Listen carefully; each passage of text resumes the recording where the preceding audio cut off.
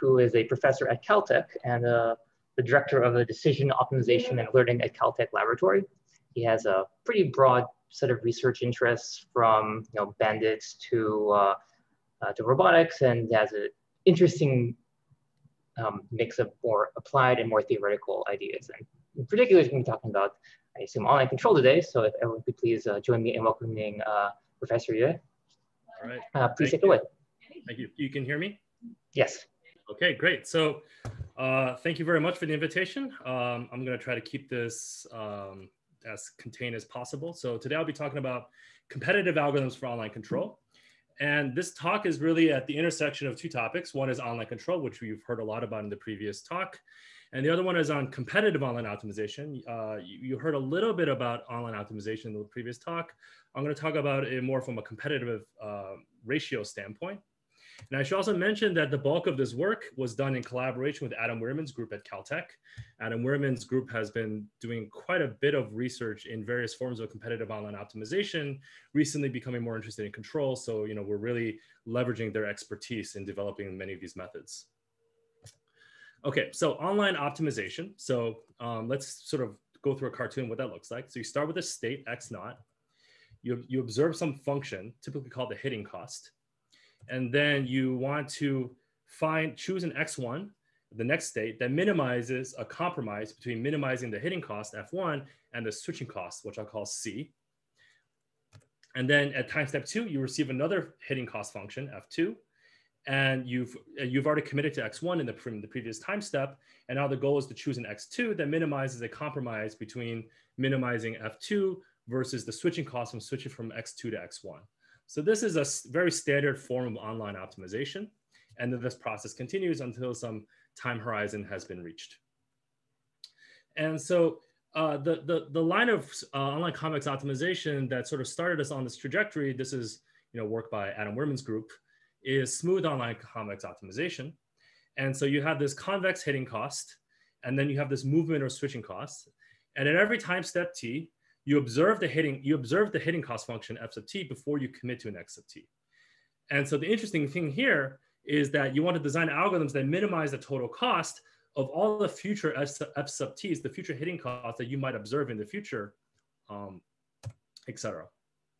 And so the uh, performance metric is competitive ratio. So this is a little bit different to regret. So for those of you who have um, are more familiar with regret, competitive ratio is uh, is more about the, the difference in ratio of the cost achieved by your algorithm that's making decisions on the fly as it's observing each subsequent f sub t and then making a decision versus the offline optimal algorithm, the algorithm that gets to observe a priori the entire sequence of all the hitting costs up front and then computes the optimal solution and minimizes the total costs. And, the, and so that is what the competitive ratio is. Um, and so some comments about competitive ratio it's a stronger criteria than regret. It's typically much harder to get a good competitive ratio result than, let's say, sublinear regret. Uh, because the offline optimal gets to see the future, the benchmark you're comparing against is a much stronger benchmark. And so the goal then typically uh, is to try to achieve what's called constant competitive ratio, which means that the ratio is constant with respect to the time horizon, hopefully constant, uh, you know, with respect to the dimensionality of the problem. So uh, the, the, the, strongest results are, are, are what's called dimension-free constant competitive ratio, which don't depend on the time horizon of the interaction. Uh, note that if you have constant competitive ratio, this is the final bullet point on the slide, that actually means typically linear regret because you're paying some constant cost every time step. That's what constant competitive ratio means. So you could be achieving linear regret, which is you know kind of a vacuous statement in, in most regret analysis settings but still be still be competitive in terms of competitive ratio. And that's because we are indeed comparing against a much stronger benchmark. Now, one of the reasons why uh, my colleague Adam Wierman and his collaborators became interested in uh, smooth online convex optimization is in this application to sustainable data centers, where the basic idea is that you know you have a bunch of workloads, you have renewables. Um, so that's the green curve here. That's the solar renewables, and you know you want to figure out a way to allocate workloads to take maximal advantage of renewable energy in this case let's say, let's say solar however you also want to minimize the shifting of the workloads because if when you spin up and spin down uh, servers, that's very expensive. And so the, a complete spin up, spin down cycle is about as expensive in terms of its wear and tear on the server as running, a, running the system uh, sort of continuously for several hours. So now, so that leads to this both this hitting cost, which is large, which is to some extent predictable. You know what the workload is in the next time step, and a switching cost, which is the cost associated with spinning up and spinning down servers. And so this was the motivation that led Adam Wierman's group to study uh, online convex optimization, where you have some small uh, forecasting of the future. And of course, this uh, method, this class of methods was very successful and is deployed in you know, a range of real world uh, high performance computing data centers and, and compute centers uh, worldwide. And so that's what, sort of the, where the initial motivation came from. My uh, interest in this area comes from applications to robotics and control. Um, so here at Caltech, uh, I do a lot of work on robotics and we're roboticists. Here's just one example where we're trying to do tracking control under predictable disturbances. So we have a well-specified dynamical system of a drone in this case, and it's trying to track a trajectory through a, let's say for now, predictable wind disturbance. So this is something we can actually experiment with on hardware at Caltech. Other applications that I've worked on in the past include things like tracking the gameplay of, let's say, a basketball game scene while uh, minimizing smoothness, oh, sorry, well, maximizing smoothness because you don't want your broadcast camera to be overly jerky.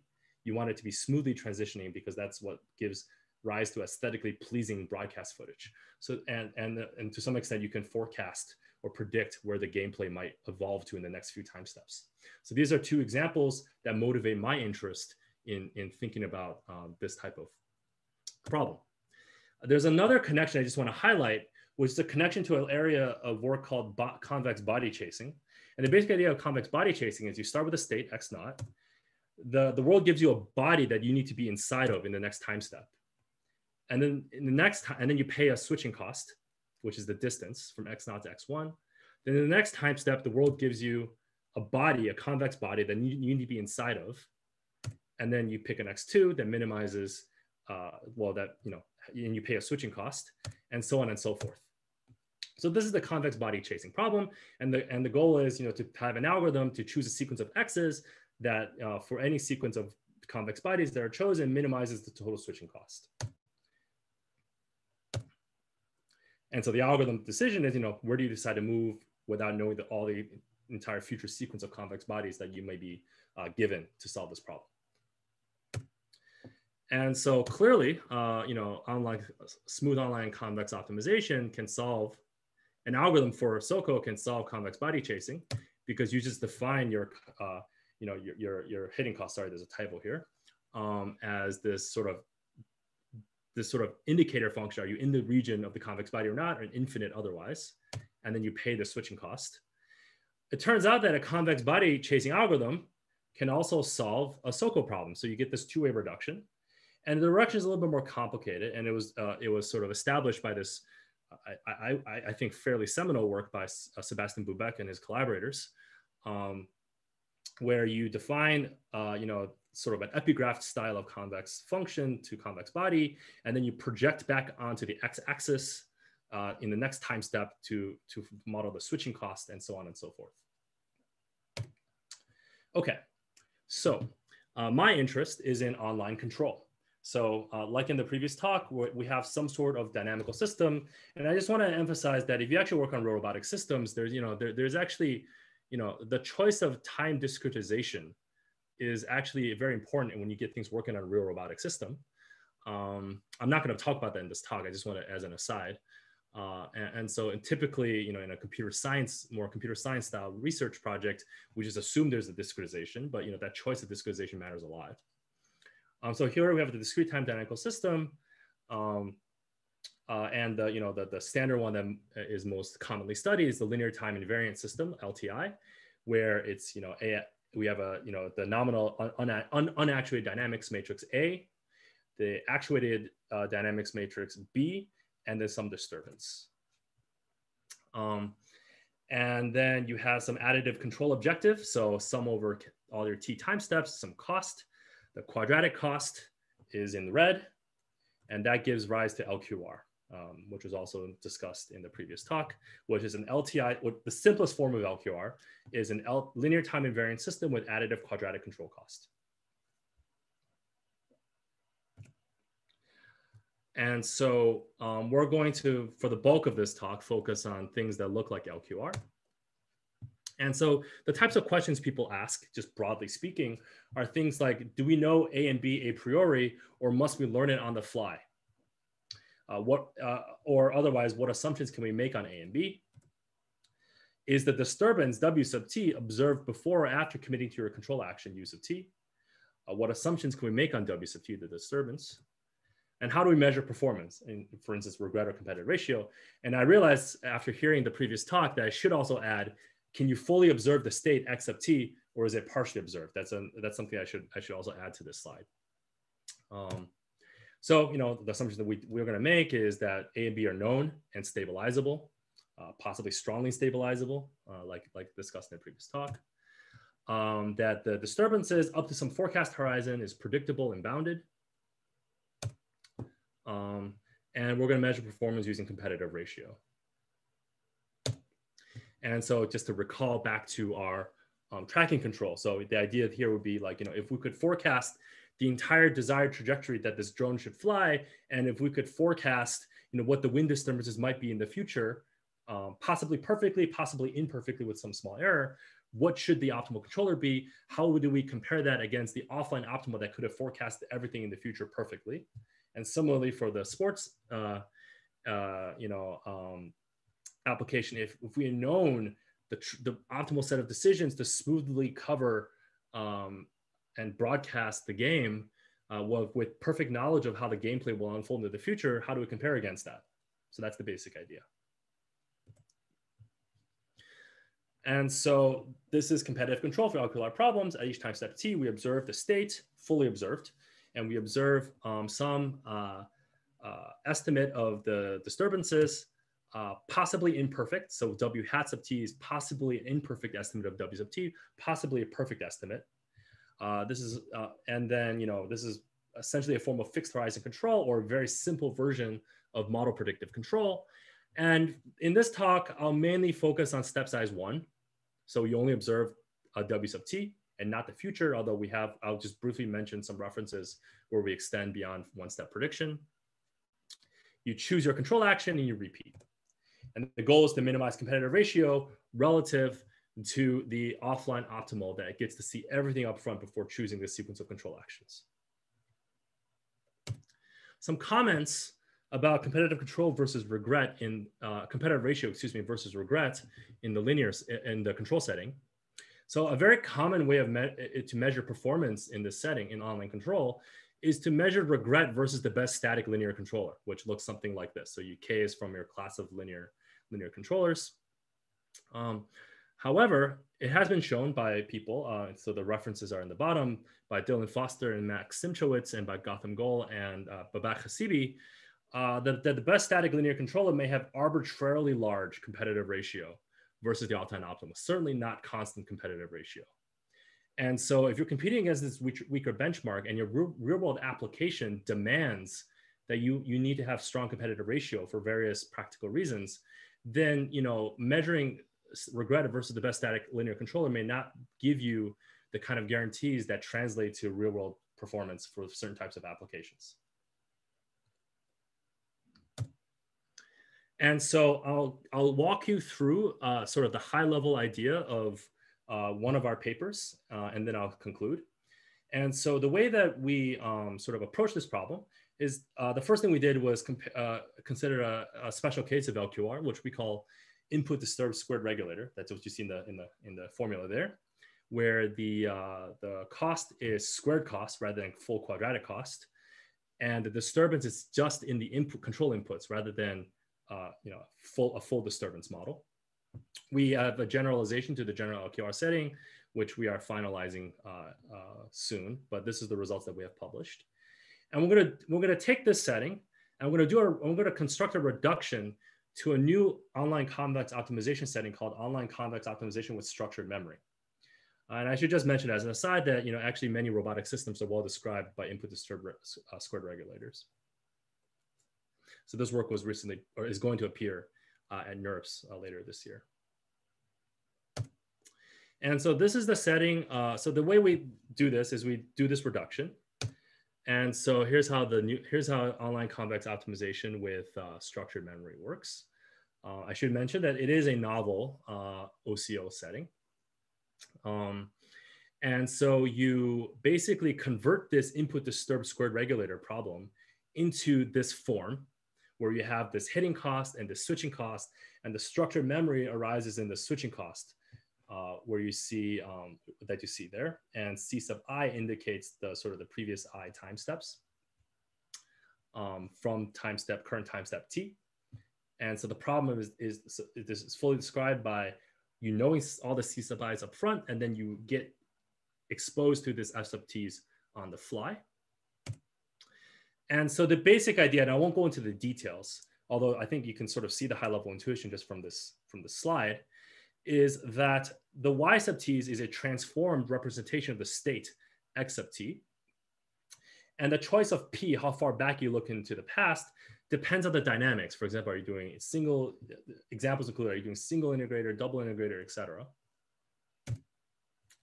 Um, and then you choose the next state y sub t indirectly via the control action u sub t. So there's a transformation via, there's a linear transformation essentially, because we're, we're dealing with a linear dynamical system.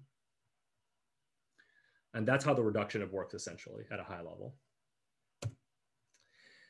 And knowing, if you know W sub t exactly, then that exactly defines uh, the, uh, the hitting cost F sub t. If you know it approximately, then you only know F sub t approximately, not, and not exactly. And so that's the, that's, the, that's the reduction. And now I'm gonna, at a high level, and now I'm gonna give you the algorithm, which is called optimistic regularized online balanced descent. And I'll give it to you in three slides. Uh, first, I'll present online balanced descent, then regularized online balanced descent, then our algorithm, optimistic regularized online balanced descent. So online balance descent uh, was proposed from Adam Wierman's group a few years ago. And so here's how it works in a nutshell. Um, so you have your previous state, y sub t. So now I'm, I'm working in the only in the reduction in online convex optimization. So now the control aspect is completely abstracted away for now. We know what the minimizer of the hitting cost for the next time step is. We can compute that because we observe it. And we can compute these level sets. And gradient descent says, well, I want to take a step, you know, in the gradient normal for my previous point, y sub t minus one. Balanced descent says, well, okay, since I know, you know, y sub uh, f sub t up front, I can actually compute a step that hits me towards the same level set, but is closer in terms of minimizing the switching cost, right? So this orange line achieves the same f sub t in hitting cost, but it minimizes the switching cost. Sorry, and that's essentially online balanced descent in a nutshell.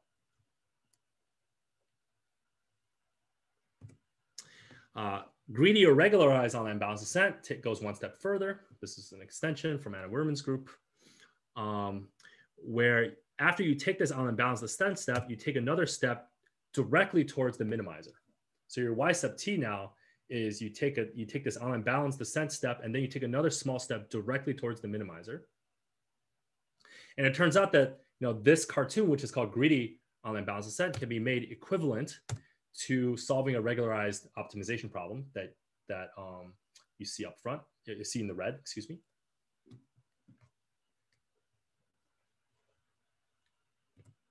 And optimistic regularized online balanced descent is the setting where, okay, we don't actually observe the disturbances exactly. We only observe it approximately, so it belongs to some confidence set, omega sub t. What that means is that f sub t is actually only approximately known. We don't know exactly what f sub t is. And so optimistic ROBD basically says, well, we're going to choose the W sub t within this confidence set optimistically that minimizes the total cost. So we're going to choose so that that gets compiled to the reduction to an f sub t that minimizes the total cost.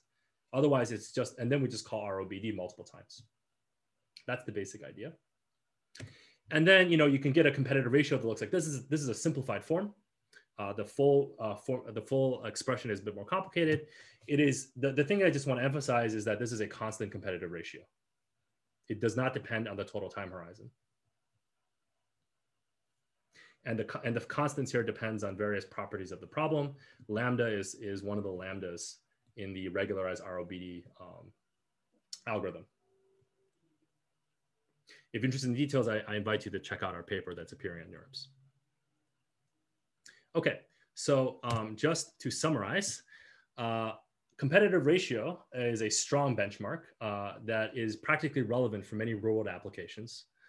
Um, through studying competitive control, uh, you know, we've designed algorithms for competitive control uh, through a reduction to a new OCO, OCO setting called online convex optimization with structured memory. We've also been working uh, on you know long-term forecasting, so so knowing more than just the, the disturbance in the next time step or the immediate time step, but future time steps as well, and also with delay, whether if we have delay in our ability to measure the state.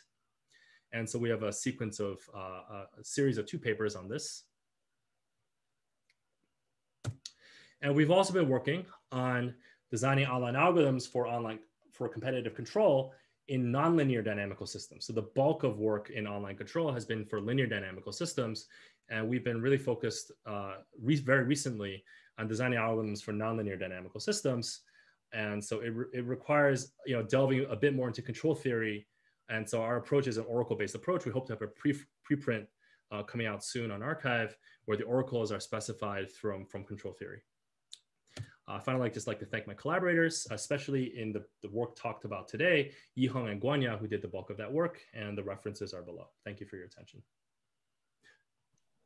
Great, thank you. That was a, another really great talk. Um, well, actually, we're now back on time. Thank you. and does anyone have any questions? I believe uh, Mary had one question in the chat. Yeah. What are lambda? Um, yes. So, okay. Good question. So you have to, so, so um, Lambda two, so Lambda one, uh, let me see if I remember my, the, the details right. So you have to choose, uh, so this Lambda here, which is something you choose, and then you could choose it in a way that minimizes this max of these two terms, um, you, is, is Lambda one. Uh, and then Lambda two is, I think, typically set uh, according to um, some properties of the dynamical system that are fairly basic.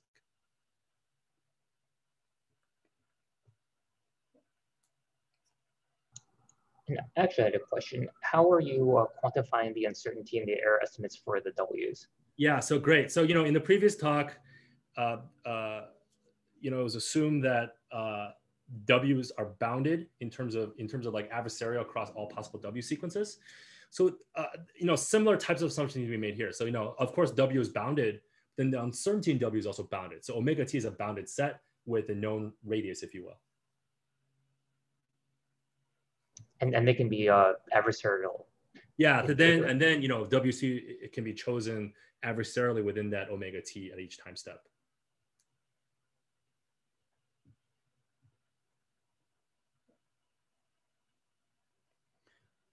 So this particular bound here that I'm showing is when omega sub t is a singleton set. So you know WT exactly. So when omega sub t is not a singleton set, there's an epsilon, that's the radius of this omega t that also comes into the to the picture. Do you have any idea of how uh, good this constant is? Are there any lower bounds for this problem or? Um, that's probably a question best asked for Adam Wierman. um, I, I, certainly there are lower bounds. Um, look, I mean, a trivial lower bound is one, obviously. Um, uh, I think for general I think for general online convex optimization, the lower bound is like one plus one over, sorry, excuse me. For, for general uh, online convex optimization, the lower bound is um, root square root of d, where d is the dimensionality of the of the of the of the state space y. And then for convex, for for strongly convex optimizations, which LQR, which certain which many flavors of LQR satisfy, it's one plus 1 over square root of m, where m is the strongly convex parameter.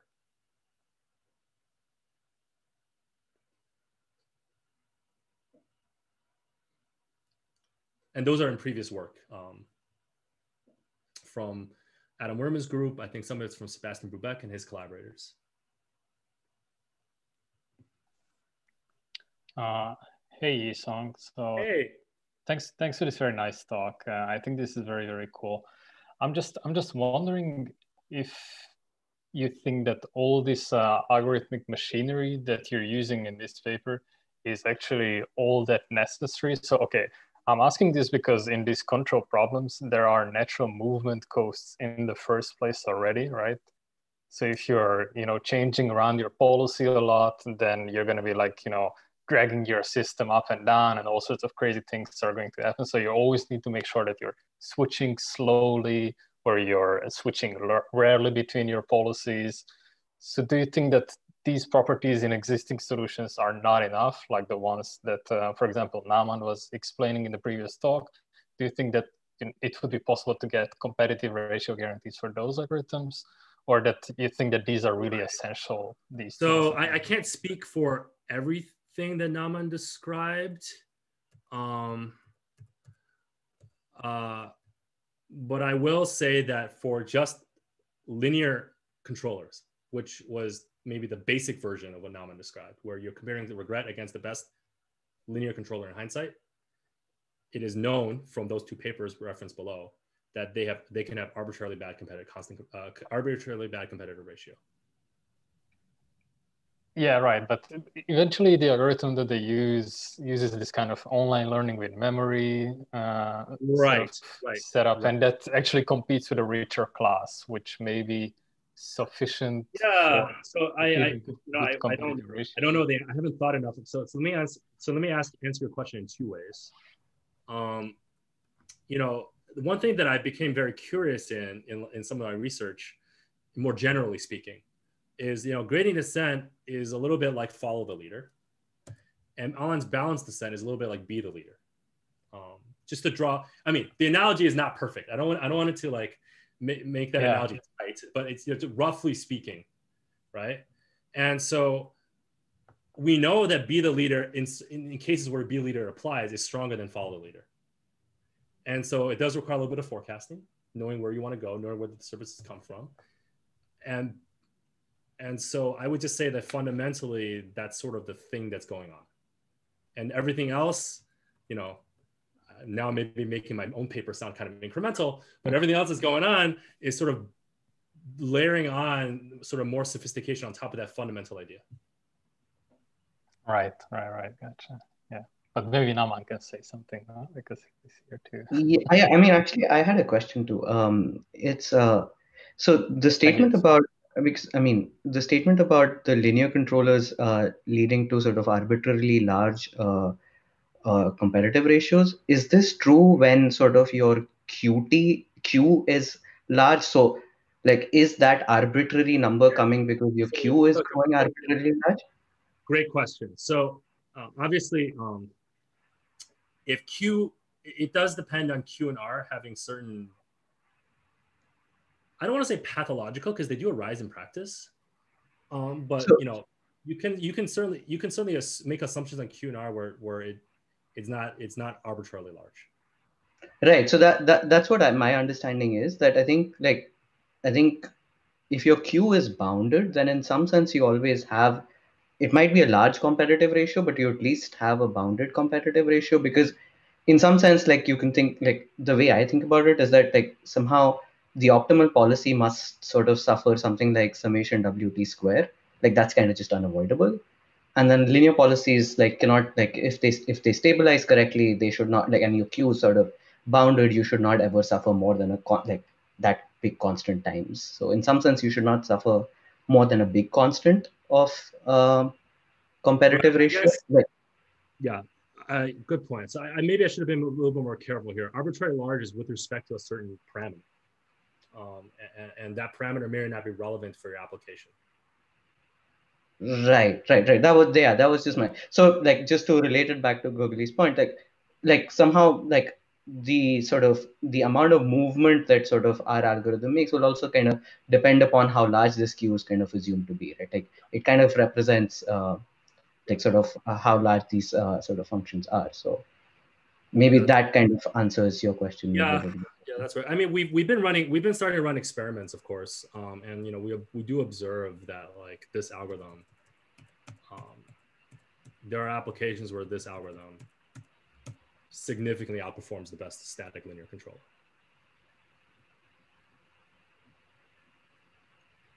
Um, can I ask a clarifying question? Sure. Hey, sure. Uh, hi, Ethan. Uh, very nice talk. Uh, so the clarifying question is about like maybe the big difference is that whether the disturbances are predictable or not, right? That's right. Like a lot of times we are not going to assume like in the regret formulation that you have any sort of information. Disturbance is completely unpredictable. It's That's noise. right. There's That's no right. structure. That's right. then uh, then of course, uh, if it's predictable, you should take into account the, the disturbances, how you can predict them. And and my understanding was that this is what this framework is trying to capture, Correct. More, more or less, yes, correct. Yeah.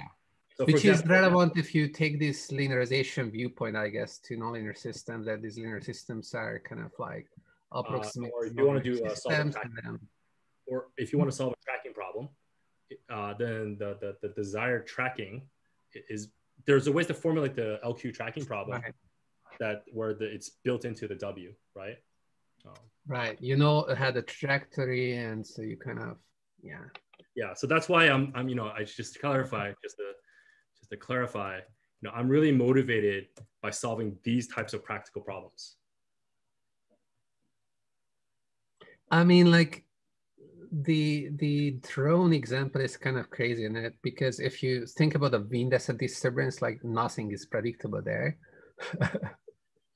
So it the depends. okay. trajectory, yeah, like you you can you can say that the trajectory and the dynamics of the plane, like in a steady flow, but like not in uh in this Uh, so yeah, so you know, this is certainly this is a conversation I've, I've had with roboticists um, for several years now, and the way that roboticists here think about the problem is, of course, the general problem is impossible. There are classes of wind conditions or classes of aerodynamics where you can say something a little bit more bounded about what you might expect to happen, um, and that's how they make progress in designing more sophisticated controllers. So, so, so certainly I agree that in the general case that, you know, but I think the aerodynamics and control and robotics community are a bit, have, you know, been thinking about how to sort of create this taxonomy of problems, some of which are more tractable than others. And you, then you could think about how to impose things like competitive control on those classes of problems. So that's the approach that you're trying to Yeah, suppose there is a gust of wind, but you know, you assume that the wind, you know, roughly is static and, and doesn't change too much over from time to time. Clearly, it doesn't work in a hurricane, but I think, but you know, uh, broadly speaking, there are many instances where if the, there's a gust of wind, the wind Hmm. stays static for a long time period. You should remember that these controllers are operating in, in certain cases at 500 hertz, right? Yeah. So, so, so you know, at 500 hertz, that means each capital, each time step t is is 0.0002 seconds. I hope they did the math right. Um, so, um, and so there's a certain amount of predictability of whatever the wind is at one time step, you it doesn't change much at the next time step. Mhm. I see. So that somehow relates to this optimism in online learning as well. But okay, I guess it's a longer conversation, I guess. Like the optimistic algorithms in online learning are also trying to to somehow capture that, in which case, you know, like you change the algorithm, you change the way you are thinking about the regret and like it seems maybe there is some uh, smooth interpolation possible between these two settings. Uh, Yeah. So one- instance that we looked at, just just to, uh, sorry, I, I I realize we should have an open discussion now, but just one concrete instance is omega sub t, the uncertainty about the disturbance from the wind, is Mhm. whatever the previous wind measurement was plus some little error based on your Lipschitz of how well, fast the wind changes from 0.002 seconds. yeah. Mhm. So, the, so just just as, just as a concrete example. Right. Yeah, yeah. Makes sense. Um, maybe before we uh, open up into a general discussion, I was wondering if anyone had any questions specifically for Naman's talk, because we didn't get a chance to before.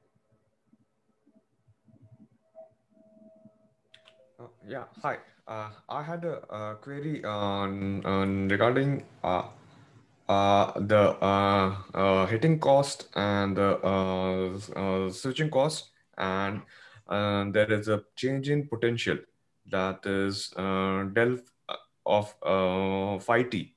So how does that impact our theorem? I'm not. I'm not sure I understand the question. I'm sorry. Okay, uh, uh, let me uh, try to uh, rephrase it. So it's the change in uh, potential. Uh, if I look at the paper, uh, Okay.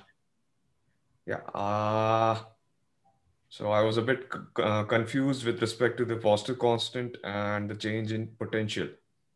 Yeah, so Change in potential. Um, if oh okay, I see. Um, this might be a discussion that's better taken offline and including uh, bu- uh, my students. Um, I, I, I might struggle to go through every line in this proof with the level of sophistication that they might they can do. Good. Um, any question for Naman? I have one. So, all right. Mhm. all right. Uh, Yeah, so Gary, I, I had a question.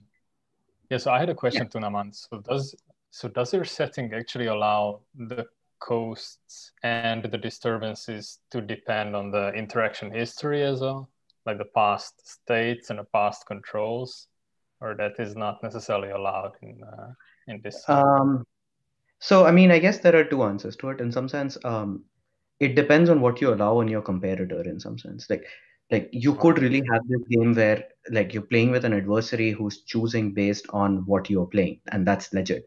As long as in your comparator it's the same choices, and depending on whether you find that admissible or not, like the answer is a yes or no.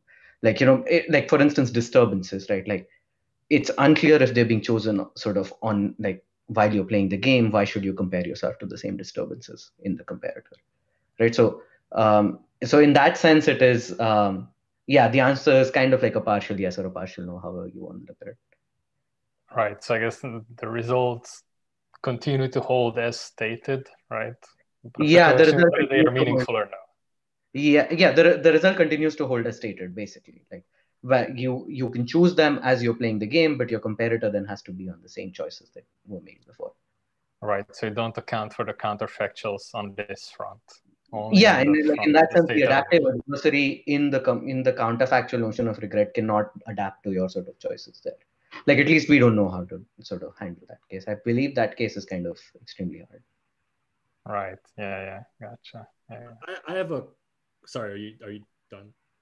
Yeah. yeah. Thank you. Thank you. I have a question for Naman. So I'm really curious about your the, the the thing you mentioned very briefly at the end of your talk about this application to like medical um uh monitoring or, or I wasn't it was flash. oh yeah um sure um so um uh, uh, so this is something that uh, sort of um, we've been working on in the lab and in like in this case sort of like the objective in some sense is completely sort of clear you kind of have like a real ventilator and sort of you want to design controls to um, uh, um, just have the sort of patient follow a certain breath pattern. That's what you're doing in sort of ventilator control right? I wasn't quite mentioning sort of the ventilator thing necessarily as a as an example uh, or as, as a potential application for the theory that i was actually describing.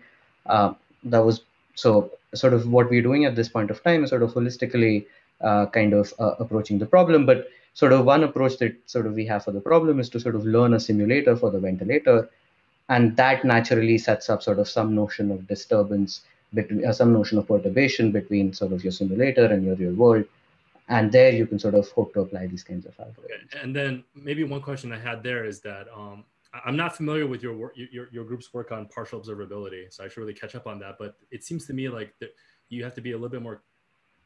I, I don't know. Maybe your thoughts on partial observability in those types of settings. Right so okay this is um, this is not particularly my work i wasn't involved but like I, i'm happy to comment on it. Um, basically um, in the case of partial observability as far as i understand um, essentially what like what you can so similar to something like what we had like which is this disturbance action policy like what's sufficient is i think they come up with this notion of uh, uh, they call it nature's y's. Uh, basically like if indeed sort of um, i sort of executed the system uh, with sort of um, like just look at sort of various like just make a basis out of sort of looking at the execution of the system under various noise and sort of look at the observation sequences that you would have observed. Um, the only this connects to this connects deeply to sort of this notion that I, I personally am not super familiar with the the Youla parameterization, um, and you get basically at, like the end of the story is that like making assumptions very similar to the the assumptions that we're making, you get very similar results. Basically, you can get uh, sort of square root t regret rates uh, if you have like a known system uh, under adversarial noise and things like that. Um, and you could get slightly better rates if you got, I, I, guess something that I didn't get to in my talk, you could get like uh, potentially better rates if you have like strongly convex costs and things like that. But at the end of the day, you sort of basically you you you can get the same result um, that we establish in the partially observable case.